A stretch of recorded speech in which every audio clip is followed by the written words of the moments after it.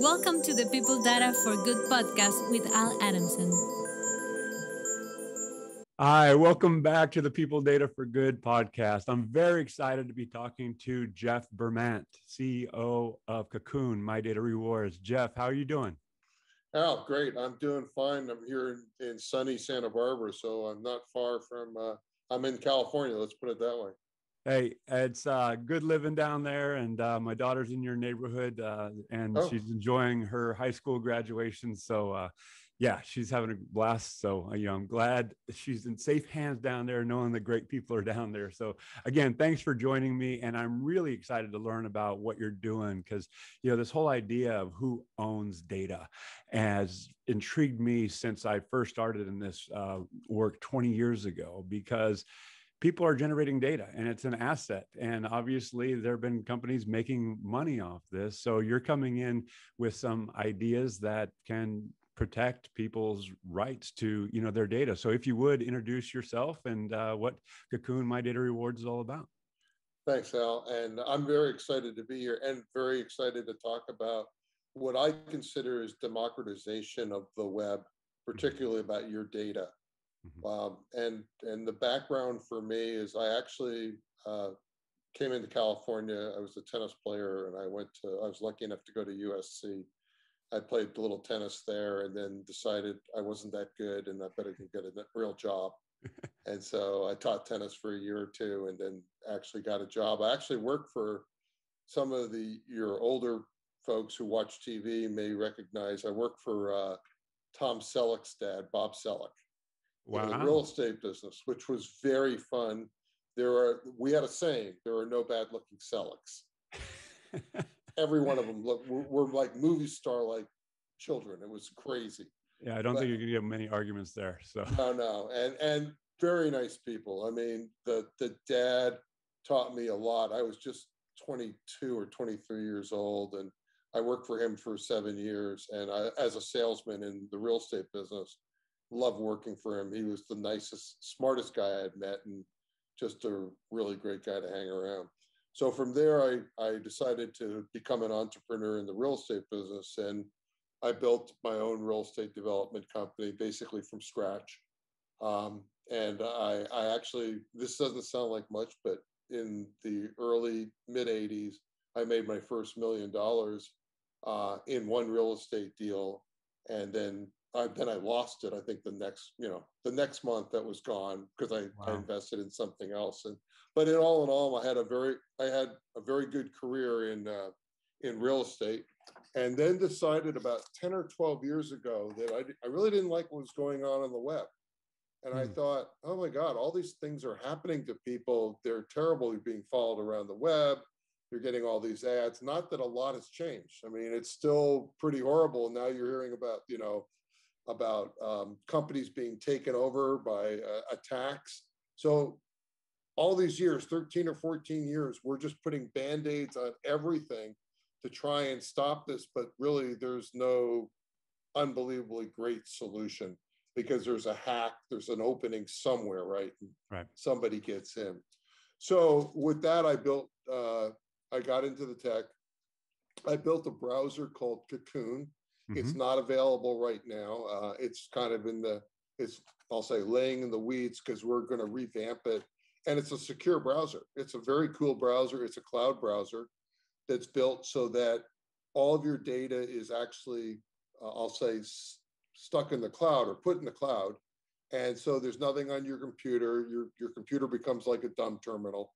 And and everything you do is in the cloud. And it's what's cool about it is you can see out, so you can see all the advertising. You can click on anything you want. You can have no advertising if you want, or uh, but they they can't see in, mm-hmm. and hmm. that's because you're protected by our our cloud, and so it's it's pretty cool technology. But we the biggest problem, which all in all tech you find failures in companies, is they can't figure out how to make money. Right. And, right. So kind of we built, yeah, we, we kind of built the coolest thing you could build. I was very proud of it. I am very proud of it. But and and it was all about for people. And um uh and but we couldn't figure out how to make money. And so you, you know, you had we had to move on from there. So we pivoted into this idea that, well, wait, all this money is being taken by these giant companies, Google, you know, Facebook, and all this is and data and billions, no trillions of of of, of data is being traded. And the guys being left out are us. I mean, right. us, the, the common guy in the street is not getting paid for the data. And I thought, well, God, that doesn't make any sense. Maybe we should do something about that. And I'm that kind of guy. And I took my own money. The rest of the rest of my investors said, eh, I don't know. You're crazy. You're a nutcase. And I put my own money in and started to build this idea that we should democratize getting paid on the web. Mm-hmm. And so that's what we're doing. And we're starting small. We'll need lots of help. We'll need lots of people who might make just a little bit of money, but believe in what we're doing. And we'll grow this. And we can grow this. I can tell you how oper- how how much of an opportunity is this. The the hour I I launched this on uh, Chrome or on Google, an hour later they had taken me down from advertising. Wow. They didn't want anything to do with us. Same with Facebook. They don't want anything to do with us. They don't want you to know that you can you can actually make money from your own data. Right. And it is the case where as we fast forward through time and we have a generation of digital natives coming up who are more wise to the fact that this is happening and arguably will be more open to other modes of interacting uh, via the web. And so you know what is your ideal you know future state going you know two three years out? Is it your hope that young people are in fact the ones who adopt this technology? You know if if data privacy is a basic human right, which is you know something that is voiced more commonly now, and likes of Apple and others are putting that forth. There inherently then needs to be options and how to protect your data, and in your case, monetize that data if you so choose. So, what is your ideal future state? What, would you like to see over the next couple few years? So, I'd like to see two states. One is if you want to be totally private, you can get there mm-hmm. if you, which is very hard to do and free. Mm-hmm. That's the tricky part because somebody's got to figure out, well, it can't be totally free unless you're going to be a nonprofit. Uh, it's you got to make money somehow. So that's one side of the ledger. And then the other side is, you know, I don't think my data is as important as I thought it was, and maybe I want to sell it. And mm. so I like those two options because I came from the privacy world, which was I don't want any of my stuff to leak out. Then I realized, well, wait, what am I afraid of? I don't do anything wrong on the web. I'm not illegal in any way. Uh, for for those type of people, they need to you know go off and use uh, you know some of the browsers that are out there, Tor, so on and so forth. Uh, but I see that it, that you should have the absolute right to make your decision about your data. And that's where what's happened is we've lost control. We never actually had the control. Actually, we've been, in my opinion, we've kind of been spoofed mm-hmm. by the big companies saying that, oh, you get all this free stuff. It's free. It's free. It's not free. Right. We're not free. They're, they've got, you know, zillions of dollars or billions of dollars they're making off us. And I just think, I think that's just kind of unfair. And, and I, I'm the kind that looks for, I'll say, some social justice that says, why can't we be fair and still be capitalists in that sense? I mean, right. we can do that. I'm proving the point that we can build something, we can make a nice profit, and yet we can pay. I mean, people are shocked when I say, hey, I can pay you 70% of what your data is worth. And I'll take a small cut of 30%, and I will pay for all the servers, I will pay for all the team, all the staff, right? And if we come together, this actually works. And I can show you a spreadsheet that shows, yeah, the company is worth a fair amount of money. It, it, maybe it's not going to be the hundred billion or, or, or uh, yeah, the hundred billion dollar company or whatever these things are valued at. I don't really care. I mm-hmm. care more about the fact that the, that there's some social justice and that there's a there's a there's an element of fairness. Yep. In the web. And what I'm hearing is that the individuals generating the data can you know, make money. They can monetize it because they are Absolutely. generating value. And so yeah, let's talk a little bit about what's out there now and why there's a need for something new. So you mentioned obviously Google Chrome, Google's you know business model is predicated on data and search and you know all these things that has added immense value uh, to the world. We're in this state where you know there's an awakening it's like hey this data is out there how is it being used? And to your point you know how can i benefit? Not just you know because i'm getting targeted ads but right. because i'm actually creating value for these companies and i would want some monetary return. You talk about uh, nonprofit mozilla you know firefox and we can just focus there for a second what is happening or not happening that is inspiring you to go out and do you know something new and different in this regard? Do you not see mozilla as a nonprofit doing enough? Do you think there's too much social pressure to uh, to make money and to maintain the status quo? I mean what are your thoughts there? Well i i haven't honestly i haven't i haven't tracked enough of what mozilla is doing to know if they have totally not they're no longer taking money from from uh, Google. Last mm-hmm. time I looked at it, and, I, and I'm out of touch for a couple years here, they were making two three hundred million dollars yeah. off of giving results to mm-hmm. to Google. Mm-hmm. But once again, I mean, my issue that's fine if everybody knows it and everybody's fine with it. Of course, I think that's fine. I also think that that Firefox is doing a pretty good job of privacy to a certain extent. Mm-hmm. Uh, but if they have to make a living, then you know where are they where are they cutting corners? Like for instance, with us, we're working on our own search engine, and our own search engine will be based off of keywords, but not off of you, not off of your you know your identity.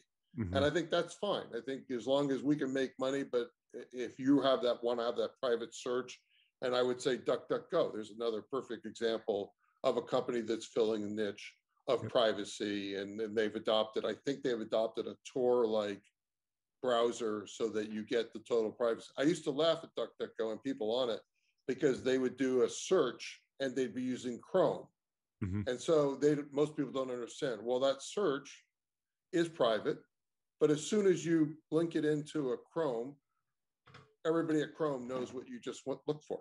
Right right? So to me, and, and, it's and and it's it's sad to me that a lot of companies are not upfront with their customers and telling them, well, if you use Chrome, you know, you're not private. Yeah. So to me, where I'd like to see the world go is you can have the element of privacy when you want it, and you can or and and we all have split personalities, or a lot of us do. I do for sure. But I might want to be private in some way, and then other ways it's like, yeah, fine, I'll sell that data and and there's got to be some ethics to the sale of the data which i'm i'm happy to report that on the most part uh, there is some ethics that are like when we sell our data our buyer will not take certain things. And i'm more than pleased like they won't take financial information they won't take medical they don't take hate speech don't take guns uh, they don't take bad stuff they don't take adult sites. So those are not being sold so you don't have to worry that if you're using us, I can't speak for everybody else in the industry, we'll tell you if we're going to sell those things for you. Otherwise, we tell you we're not selling those and we don't. Got it. And so if I am a listener, I'm like, okay, this is intriguing. I want that. I want to search in a more secure environment. And in fact, I'd like to make some money. You know so how does that look like to you and realizing that you're you know building but obviously you're formulating a, a vision. You know, what does that look like? Am i looking at some choices that i'm making on a weekly basis that say okay i'm going to sell this data this data um, you know what, what does that actually look like? No that would be uh, in my opinion for the user that becomes too cumbersome. Mm-hmm. and so the way we've set it up so let me start from the download. So you mm-hmm. come and get our app, uh, and it's you know Cocoon MDR at the at iOS at uh, at Android. We don't have iOS yet. We will. Um, I'm hoping July eighth uh, for the truck show, and I'll talk about the truck show in a minute because it's one of my passions is trucking, and we'll talk about how I'm going to get excited. I'm very excited to get involved in trucking, and I'll tell you the reason why in a minute. Right. But but uh, you download the app, uh, which is, as I said, Android. You follow the instructions, which is just says, I agree. I agree to sell my data. We tell you what we won't sell. I think I just kind of outlined for everybody that we don't sell that data. The rest of it, um, if you if you're the biggest way right now you make money is geolocation. So that geolocation data is very valuable. When I say very valuable, it depends on how many miles that you actually drive and what you do. So, for instance, if I'm just walking around, um, the data may not be very valuable. But if I drive, like I'm a truck driver, I might drive 12,000 miles, and that's worth probably $25 a month to me.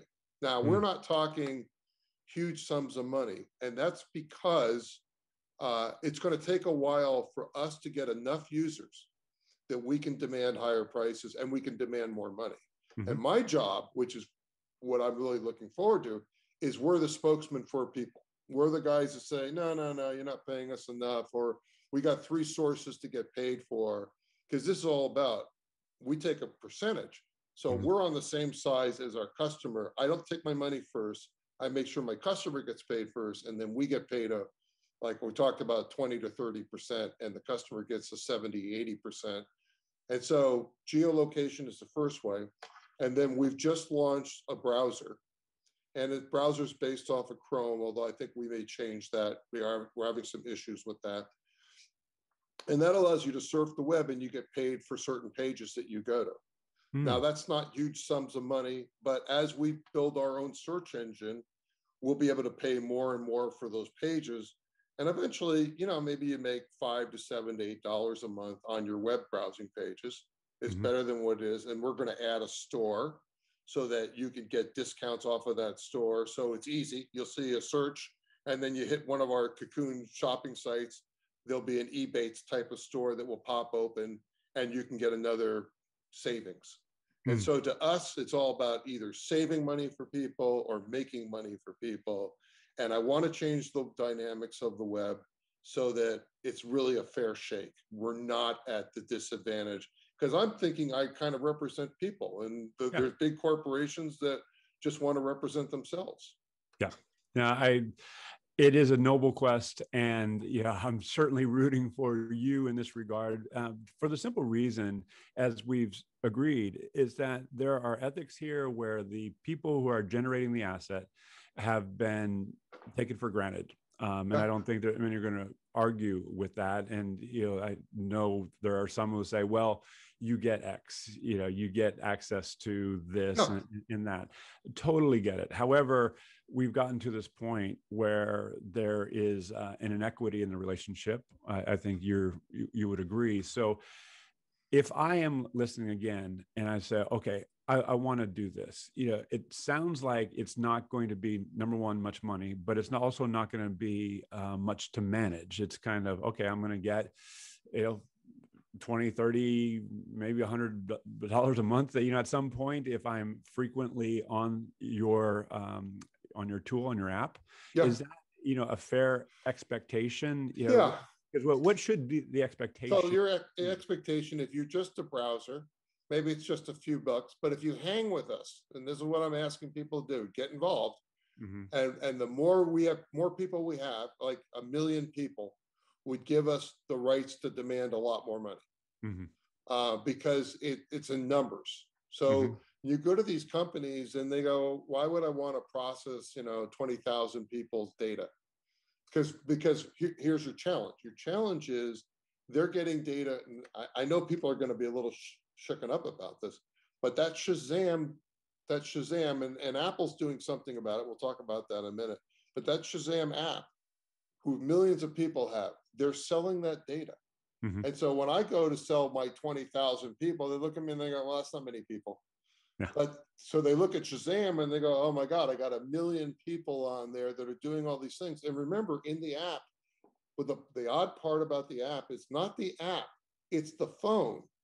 So mm-hmm. all the rest of that information on your phone, your your your phone ID uh, is being uh, being used. It's, it's called your. Uh, it's not a phone ID. Sorry, I don't want to misstate that. It's your uh, uh, advertising ID, mm-hmm. which everybody has. Which, by the way, you can go in and change if you want. you personally can go in and change a little bit of tech work to do that. Um, but uh, that ID is being shared. And so somebody's being paid thousands of dollars off of you um, for your data. And so it's being given away now. And it's being given away by those apps that you have on your phone. And that's why Apple came out, rightly so, and said, I want everybody to know that your data is being taken and sold. And are you okay with it? Mm-hmm. So my customers, they go, oh, sure, because I'm getting paid for my data. And I think that's how the world should be. I think every one of these apps should be paying us for our data. They're not going to. So that's my job is to figure out how do we get paid. You know, with that in mind, you know, you mentioned Apple, and I want to get to the truck show in a second. Um, but just to stay with that, you know, theme because Apple is advertising, you know, data privacy. However, that from your perspective obviously isn't enough that there is you know some remuneration that can and should be coming back you know to the individual i'm sensing that for this to work it's going to be a group of individuals who are going to say okay enough is enough. I want to do something different. So that's going to require a behavior change. So my pointed question is who do you think is going to make that change? What does that persona look like? You know is it is it truck drivers? Is it uh, young people? Is it people who uh, you know are just more sensitive to uh, data privacy and ethics and you know want to you know make a few extra bucks and disrupt you know the norm? I mean who is it from your perspective?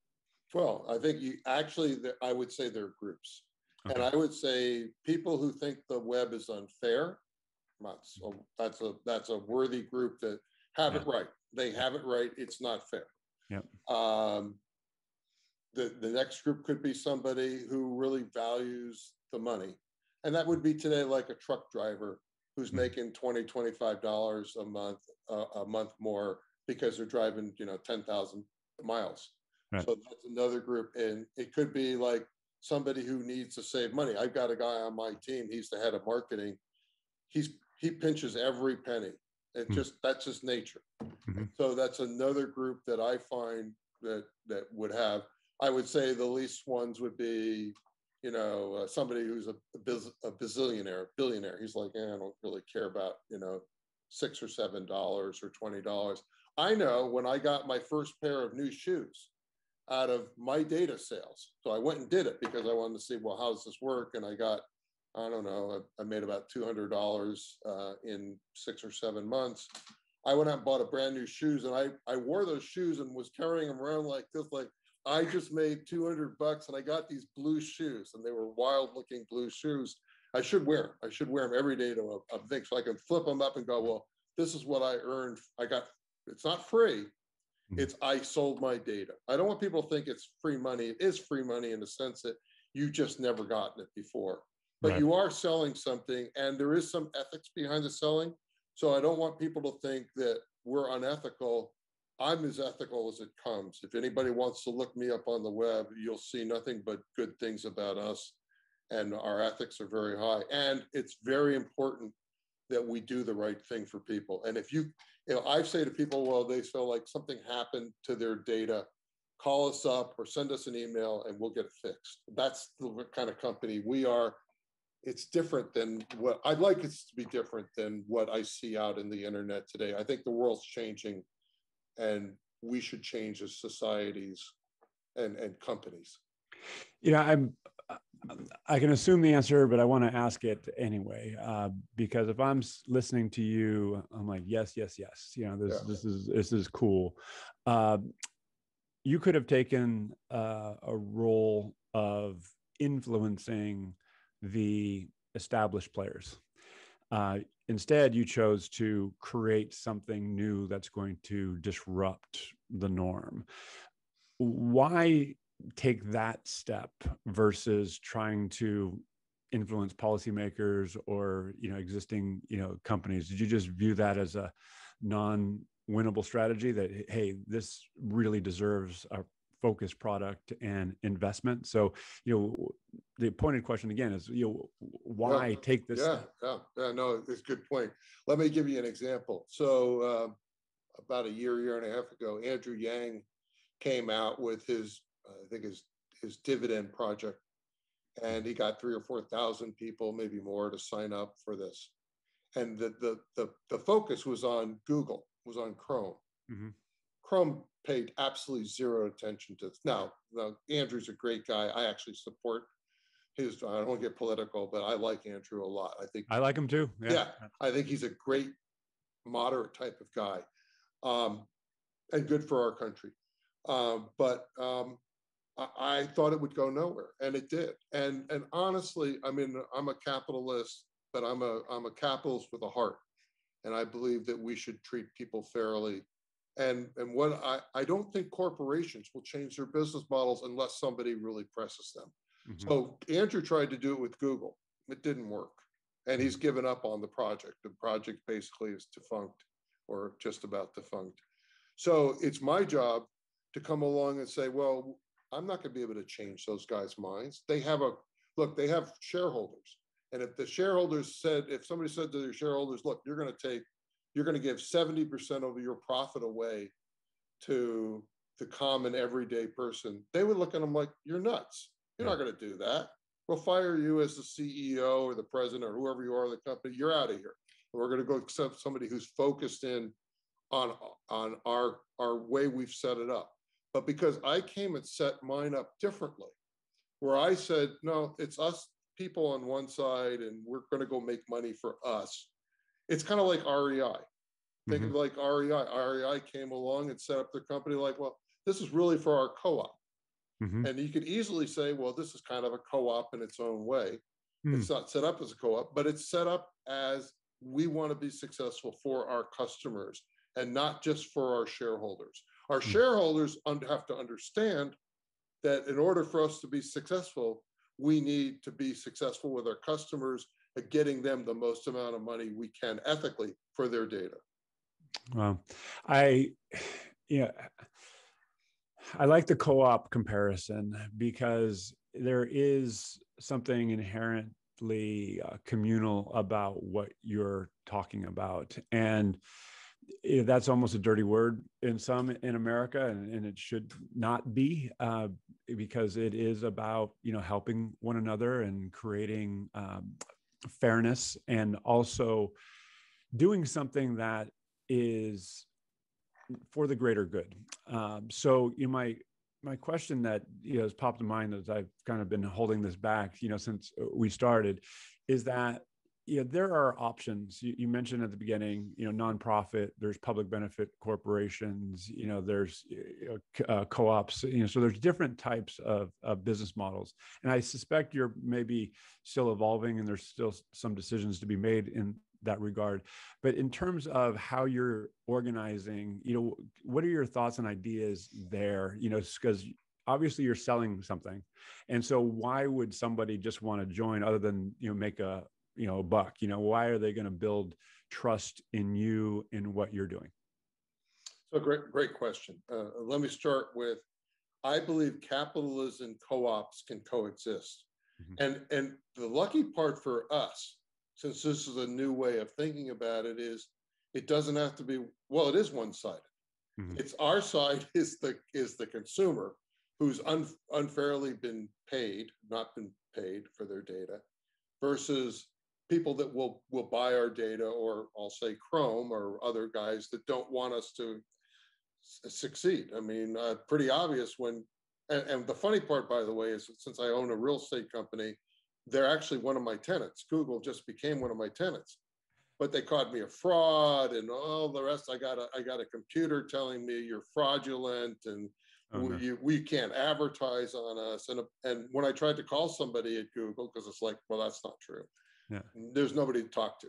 I mean, you just get. I, I, and I'm sure some of your hurt your uh, your listeners have had the same experience where we got a bot called Elizabeth yeah. And Elizabeth would always say to us, I'm sorry, you can go no further with this. so the, the answer, the short answer is I believe capitalism in this way can work. And, and you have to convince an investor, look, as long as we're making a profit and it's a reasonable profit, with this kind of thing, and I'm not saying everyone's like this, but with us, where it's where I believe the, the user has been treated unfairly, it's powerful because we as a group I can have a successful company and the users can get paid. And it's a herd mentality that kind of works. Got it. So, so I, I like the I like the way we're going, and I like the fact. By the way, you'd have a hard time if you're going to be a nonprofit. You'll have a hard time raising money for something like this from investors. They're going to look at you like, "Well, what's in it for right. us?" Right. And and most nonprofits are like, uh, you know, then that's not our cup of tea. Right. No, that's uh, very understandable, and you know, particularly given speed and and decision making you know, in a competitive environment like that, yeah. you, you need to be agile, of course. And nonprofits aren't known for that. so, no, for sure. Yeah. I've served on a few, and they they take a long time to make a decision. Yeah, I, and, I, I like the model. It's, I think the model will work, and I think if people jump on board, whether you're making a little bit of money or you just like the idea we're going to have a another thing we're going to be doing shortly is a crowdfunding campaign. And the reason I'm doing crowdfunding, sure I could hit up some of my richer friends and maybe be easier. Once again, I like the idea if we can pull it off that you you know put in a hundred bucks and maybe you end up with making you know a couple thousand or more off of the company. I mm-hmm. love that. I have a I have a son who worked for a company and and he made two hundred thousand dollars when the company went public. And to me, I mean, it was, it was fantastic. Yeah, no, that would be good. Yeah. yeah. So there is a scenario as you're talking where companies might encourage their communities, their prospective buyers and customers to use your browser instead of another. Do you foresee that you know happening where they're you know values based uh, you know companies and say, hey, you know, you want to reach us, this is our preferred uh, partner or preferred you know browser that we recommend if you want to engage in our store and uh, you just use it in general. Do you see that happening? Well i don't see it happening with with companies like we'll say like apple hmm. that maybe you're i mean you have to step back and look at apple. Apple's saying to people hey you should know who's getting your data and how they're using it. I hmm. applaud them for that. However on the flip side is Apple's getting to see everything that you get to do. I mean, those phones are, you know, they're not that they're not looking in on those phones too. So you got to take the Apple thing with a little bit of, of, of cynicism. Um, so do I see people coming on board? Maybe, maybe. I, I, I don't know at this point. I think it's a people's movement. It's kind of like, you know, it's a little bit like social justice. Enough people say enough. Mm-hmm. We, we really have to change this. Um, then yeah, maybe, maybe, okay. uh, you know, and I, and I think it's a great movement. I just think that as I started off this conversation, I think it's time that we people have a share in something versus these the corporations are not going to change until we change them and the only way you're going to change them is go compete with them then yeah. all of a sudden when they lose their their customers either buy you or they go yep you know what we need to change how we operate yeah, I, I 100% agree. And that is going to be, you know, a big lift, obviously, because we're talking about Apple and Google. You, you, there's no uh, bigger players. And, and it doesn't have to be that way. I mean, it could be that you decide uh, I'm not going to use them. I'm going to use these smaller guys. We're going to give you great service. And we, you still end up making money and, and you've done your little part to help change the world uh, and it's not, this is not a social justice thing. I'm not saying, you know, oh my God, it's going to change the world. It's just a little thing that I think, well, it's kind of not fair. And we've been kind of duped for for all these years that that free, it's not free. I, my first advertisement was, well, you're the product. Yeah. You know? Because I mean, right now the option is okay, if I don't like what's happening, then I don't use the internet. I don't use yeah, the browser. Yeah and that is not realistic in this day and age. So you're you're, you're putting forth an option and you know now it's just about to your point getting adoption and there are people build habits around it you know it, it could work. Something that will come to mind for anybody listening is okay i'm now using your app your tool and what are going to be the shortcomings? What am I going to miss out? Um, Absolutely. Um, you know, what, what's your answer there? Well, you, yeah, you're going to miss out some. First of all, on your geolocation, you're not going to miss anything. That mm-hmm. you turn this thing on, it sits in the background, and it just makes you money. So you're not missing anything there at all. I, I, can't I can't even think of what that would be. The only thing I can think of is if you have a VPN on your phone and you're you're not no one can see where you're going, that's what you're losing. Mm-hmm. On the on the on the browsing side, uh, you're going to lose maybe some features. Right now we're Chrome based, and so you don't lose any features there. But maybe there's like when we start our search engine, you'll lose if you decide to use our search engine and you you get more more uh, uh, pages turned, more money made. You might lose that the the wonderful feeling of Chrome, or, or excuse me, of the Google search. Mm-hmm. And Google search, you know, uh, uh, self-admitted, it's probably the best search out there. So Yahoo is good, and that's Chrome won't do deals with you. They won't help you in any way. Yahoo has a different perspective, and they'll allow you. We're lucky. Uh, there's not not many of us who've gotten the opportunity of becoming a search engine with Yahoo, and they have some very strict rules about uh, how you how you run your operation. So that you will miss that, and I want to be honest with you. But the flip side is you'll make money, and so yeah. you got to you have to choose that. Some people go, I don't want to use the browser, but I love the geolocation, and there may be other ways in the future that we'll think of that all be ethical, where you decide I want to sell that data, right? Mm-hmm. And then maybe we'll come up with an idea that you can choose what data you want to sell. Uh, yeah. That will take some time before we can get to that point. But once again, the I think part of the issue is let's get the user to get some control here. Right. Right. Users got no control over anything at this point. They're just giving all this stuff away to uh, to to Facebook and and and Google and the other big companies, and you're not getting paid for it. You're skip or you go with us when we get our private browser up running again. You go, ah, you don't want anybody to know where I'm going. I'll yeah. use this private browser. It's still free. So yeah. that's what I'm offering is well, how we'll make money. So somebody said, well, how do you make money? Well, we're going to make money off of search. So you have to use our search engine like DuckDuckGo, but we're going to get paid on the searches, and you get you get the benefit of the free private, which for an VPN is going to cost you a hundred bucks. So right. you get that for free. So at the end of it, and there's an argument made, you know, Google search going back, you know, 12, 15 years ago was significantly better than anything out there. And that's how they won over time. Um, now, arguably, that search is of marginal value um, relatively. In other words, if I'm searching for a local store, if I'm searching for, you know, something that is, uh, you know, theme based, you know, are the results coming from Google going to be that much different than coming from Yahoo at this day and age? Arguments can be made till eh, people are blue in the face. That being said, from a consumer standpoint, um, I would contend that it's not going to be of significant uh, difference, at least apparent difference, perceived. It, it, very little, yeah. Uh, yeah. I would agree with you. A little, a little different look, but um, once again, not terribly different. And once again, it depends what you're on us for. If you're there for privacy, use our search engine. We'll end up getting paid. You'll be helping us stay alive and giving you the privacy.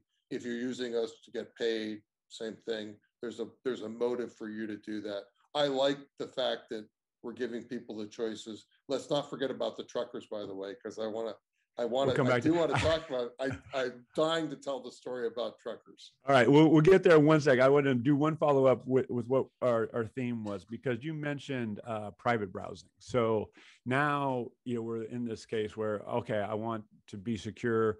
I can go use a private browser, but I'm not getting paid for that. So let's just say acknowledge that maybe there's a future state where I can turn on a browser function and actually monetize my my data.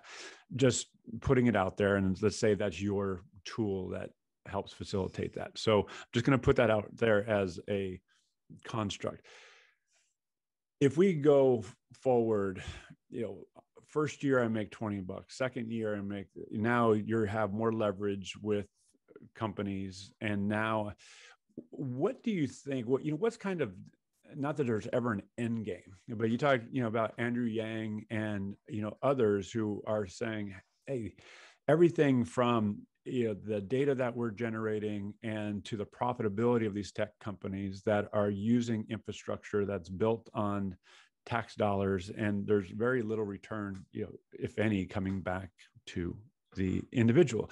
So, do you foresee this being a significant amount of money at any point in time yeah. in the hundreds or potentially yeah. even thousands of dollars for I, uh, I actually do because I think as we and, and this will be one of my challenges as we go so all the things that you're all the devices you're hooking up so it's going to be your dishwasher your sink uh, your radio everything that's being hooked up there's digital information going out all has mm-hmm. value mm-hmm. and if you collect all that it could be and i could get to a point of a family making $2500 a year mm-hmm. a family of four each doing four to five hundred dollars per year of data. Now, an individual with us could be doing as much as two or three hundred dollars. So now, if you take a family of four, that's twelve hundred dollars, um, and and I can easily see this going to in the in the low thousands. I don't think you know anybody's going to get ten thousand, but just think of all the things that we are agreeing to hook up, our refrigerators, or you know, washers and dryers, all that is digital information. And frankly, we're just giving that away for free. Our job is to figure out, well, how do we get all this to come through a system so that you get a much nicer check? Hmm. So I, I totally see that, but it's going to take it's going to take some time. It's kind of a visionary thing. You got to figure it out, but it's on my radar. Yeah, you know, we should get paid for all these things. This should not go to all these people or making money off of us. And it's like, wait, wait, just like it's a commodity. You're, you're, we're all commodities in some sense, and this commodity has been overlooked. Like we're the commodity. it's like, well, no, I'm, I should get paid for me. So at the end of it, your vision is to effectively have um, the ability to aggregate this data across your life and then ha- package it in ways that can in turn be monetized. Is that a fair summation? Yeah, and and hopefully ethically because mm-hmm. that's super important that we are we are doing that, not giving away personal data. Mm-hmm. So so let's take your washer and dryer. The amount of energy you use, all that data, you don't have to have a name on that, but mm-hmm. it's important data to know that a household of, of four is using this much power and that's data going out. Well, you know, that's should that maybe that can be paid for. Right. That's yeah. data that is valuable to somebody, may be valuable to hedge, hedge funds. So I'll give you an example. So hedge funds may be watching washers and dryer. What's the most popular washer and dryer? Well, if we can tell that your General Electric washer and dryer is the most popular brand, that will help some company decide to make a decision and they'll pay for that data. Mm-hmm. And therefore, you're going to get a check for that data because it was value to someone versus right now it's value to someone and you're not getting anything for it. Right. Now it makes perfect sense. So let's get to the trucker story because yeah, I love the trucker. we got to bring that home. So yeah, I'll let you take it away. So the trucker. So my early childhood, uh, I was always a go-getter. I was always a kid. I would, as a tennis player, I would be the one who'd volunteer to go back east, sweep the courts, and they're clay courts. So you rolled them and you swept them. I love to work. And I had this summer, actually two summers, where I worked for a uh, vegetable truck guy in the neighborhood. And they had a nice sized truck, and I ran around taking orders. Actually, he took the orders and I filled the orders. So I did the boxing and put I loved being on his truck. I loved the sound of the truck. I loved the gears. I mean, it was just something very special about that summer or those two summers that I did that. His name was Al Denizio. Uh, he was just a great guy. I mean, we're from a middle, upper middle family. So it wasn't like I was destitute, but I was always just a worker. And I've always had this heart for truckers. And then when I was in college, I kind of like truckers. I like them as people. They're honest, they're hardworking.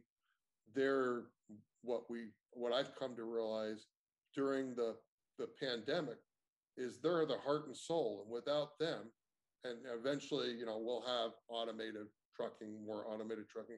But without them, we we don't have toilet paper on our, our you know in right. our stores right. and i was like holy smokes and then when i realized that the truckers could make a fair amount of money from the data which helps us admittedly uh, i'll be honest uh, but helps them and it's one of my favorite things Uh, and I had the other story was um, I was driving to New Mexico. My sister lived in New Mexico, and I drive back and forth. And one time I got stuck, and the car broke down because I was on the CB with the truckers. I love to talk to these guys, and, and today's young guys don't even know what a CB is, but they had CBs back there where we talked to each other, and there was no internet, right? Uh, and one guy said, "I'll, I'll, I'll, I'll take you home." He pulled over his truck when my car didn't work. He picked me up. I got to sleep in his sleeper, which was, you know, kind of interesting. I, I never had done that, and I got a I got a ride back to LA. I've never forgotten the truckers for that reason. Wow. So wow. this is I'm going to I'm probably the most out of place guy. I'm from a fairly well-off family. I don't wear truckers hats. I'm you know, I'm a middle of the road type of person. And I'm going to the jamboree, the I-80 jamboree this this this uh, in July. And I'm so excited to be with, you know, these these Americans who are actually every day helping us, you know, survive. Yeah, I, cool. I couldn't agree more, and good for you for acknowledging that uh, community. Because uh, yeah, I, oh, number one, I used to drive a beer truck and deliver beer, and oh, uh, lucky you! Jeez. And I, I used to go up and down I five on System ninety nine trucks because uh, my second dad uh, Art Ortega was a, a, driver for them. And so he hooked us up. And yeah, I, I couldn't agree more. They are hardworking and critical to what, um, how our society functions. So amazing you know, people. Yeah, certainly celebrate uh, you acknowledging them and and you know, helping uh, find ways to help them. So, a couple more questions before sure, um, sure, sure. We, we, wrap here. So, you know, my data rewards cocoon. Yeah, it's if I'm listening, I'm like, yes, yes, yes. You know, when is it going to, you know, happen and how can I, you know, get involved? So eh, for people who are interested, you know, where do you send them right now? So for now, and thanks for asking. So we, right now we send you to, you can either go to the uh, Android store and just look up uh, Cocoon, My Data Rewards, or Cocoon uh, MDR. They'll both pop up. You can read about us. Um, we're getting good reviews. I mean, you know, we have our ups and downs where we have problems with something or another, but we're we're still in beta, but we're we're really doing well at this. Uh, and you can just download it. It prompts. You turn it on. You put it in the background. I mean, it's kind of crazy. You put it in your background. If you're not going to browse through it, and uh, and you're driving, it will just start making you money. Now it depends how much you drive and where you go and so on and so forth. Not where you go, but how much you drive. Um, and so that's the easiest way uh, to do it. And in July, if you're if you're an if you're an iOS user, an Apple user, in July we'll come back and announce that we actually um, have have it for iOS. So right now it's Cocoon C O C O O N. Some people like me can't even spell cocoon. Uh, so I have to spell it myself a number of times. I'm very dyslexic. Um, so you just go and download it and use it. And and what I ask people is maybe you're not going to make a lot of money to start, but this is kind of a movement. And if we can make the movement happen and get enough people to, to rally behind it, I can then start really making people money and putting pressure on people to or the companies to pay us versus just themselves. Yeah, I mean, it is a noble movement and one that you know has real benefit. It's just, yeah. just not a movement for movement's sake. It's like the, there can be real money not only over the near term, but you know longer term, as we've discussed. Yeah, so, one of the things we like to do. One one other thing I like to do is I will eventually. I can't do it right at this moment. Have some nonprofits. So if you're hmm. only making two or three dollars, you know, my answer is it's not a big deal, but just give it away. Give it to mm-hmm. your favorite nonprofit. It's something that helps them and so we will have a nonprofit. I think you know we'll I'll give my money away. I, you know yeah. whatever we can do, we will do. And this is this is we want to change how the world. it's a little thing. I don't know how successful it's going to be. It's, I'll tell you how successful it will be. It's how many people say, "Hey, this is a good idea." And even if I'm only making a few bucks, and if I can give it away, or I can put it in my bank, or give it to my kid, I want to tell one more story. I was in on my 20th anniversary uh, last week, and Congratulations. The, thank you. Yeah, it was it was a really big deal for my wife because she said, "Oh my God, yeah, 20 years with you." right? Yeah. But I, I was in the pool, and and this guy swam up, and he turned out he was a dentist, and he had been in the in the he had a great background. He's from a very poor family uh, in the mid, you know, in in Washington State, and he started talking about he was a dentist and he had been in the Marines, and he started talking about Bitcoin. And I'm going, uh, you know, I I know a little bit about Bitcoin, but not a lot. And he said, I put thirty-five thousand dollars in Bitcoin, and he made thirty million dollars. Oh my god!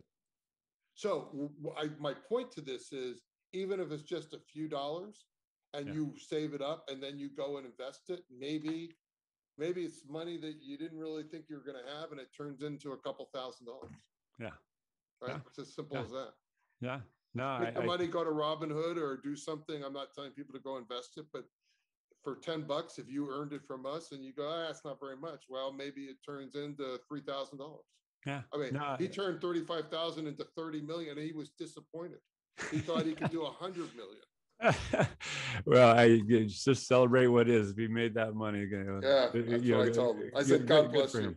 Yeah. But but the, the idea, and you know, as we wrap here, yeah, we are generating value ongoing. And if we can make passive income uh, due to our activity, you know, why not? And love your idea of potentially donating it. And you know, to your point, not only is it more fair and equitable for those who are generating the data and that asset that's of value downstream, but it can also help you know the organizations that are in fact trying to make the world a better place. So certainly celebrate that. That's that's really really yeah. cool. So hey jeff thanks for doing what you do. Uh, thanks for sharing today. Um, again how can people learn more about cocoon my data rewards uh, other than the app? I'm sure you have website. You know how can they learn more about you as well? Uh, trycocoon.com is the website. Mm-hmm. t-r-y-c-o-o-n.com is uh-huh. the website if uh, if you want to drop me a line, uh, I, I I don't mind talking to people. I like talking to people. I'm Jeff J E F F at V World V like in Victor World C like in Charlie.com. Drop me a line. I'm a I'm a pretty open book person and love to hear from you and and share your thoughts with me. Maybe you have an idea that would help the world and and and maybe even profit for yourself. Well, again, Jeff, thank you for sharing. Uh, you be well, and uh, yeah, maybe we'll get together in person for too long. Hopefully, I'd like uh, that. I'd like that. Come to this. Sure. Come to this rock show if you have a chance. And if you don't, I will come back and tell you all about it. Uh, yeah, I'm sure you. Will. I am. I am so looking forward. This, by the way, the I eighty Jamboree. That's the truck all to be all. That's where the uh, apparently the truck history truck the history of the museum is uh, located and they have a I have this big I'm just excited to go and and meet these people and go hang out with them and see all these trucks. What town? It's uh it's outside of Davenport. Mm-hmm. It's about Iowa. It's about which I've never been to. Uh, and uh, I was warned uh, there are no mountains, there are no hills. It's flat. It's yeah. corn, it's barns, it's corn and hay, and that's what you're going to see. And a lot of trucks. and a ton of trucks.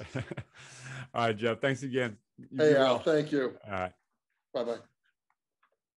Thanks for joining the People Data for Good podcast with Al Adamsen. To find other podcasts, videos, upcoming events, and to join the People Data for Good movement, please visit us at pafow.net.